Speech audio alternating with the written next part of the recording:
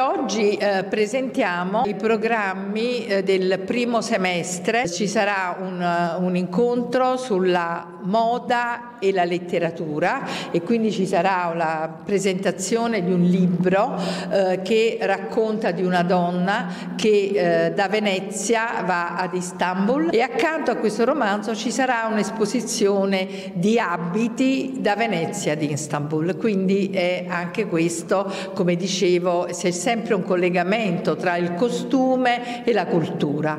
Eh, il 3 eh, marzo, venerdì prossimo, ci sarà l'apertura della mostra sugli abiti di Frida Kahlo.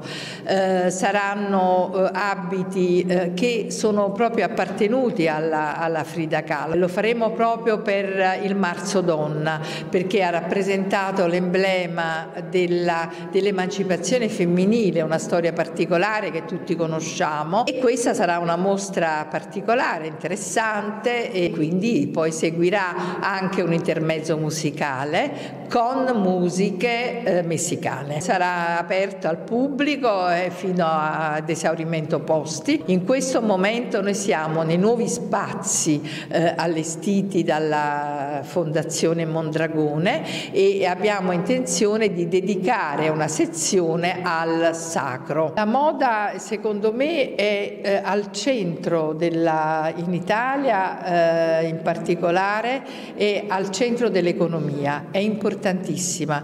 La moda sta vivendo un momento di grande, mh, io amo dire di, proprio di avanguardia perché eh, c'è una, oltre che nella scelta dei modelli, eh, anche nella scelta dei tessuti. Eh, siamo tutti, eh, si è proiettato orientati verso una eh, scelta e uno studio eh, su nuovi tessuti che siano ecosostenibili e quindi la moda è molto attenta alla tutela dell'ambiente e del, del, nostro pianeta. È importante eh, che le istituzioni eh, abbiano un, uno sguardo ecco, rivolto verso questo comparto.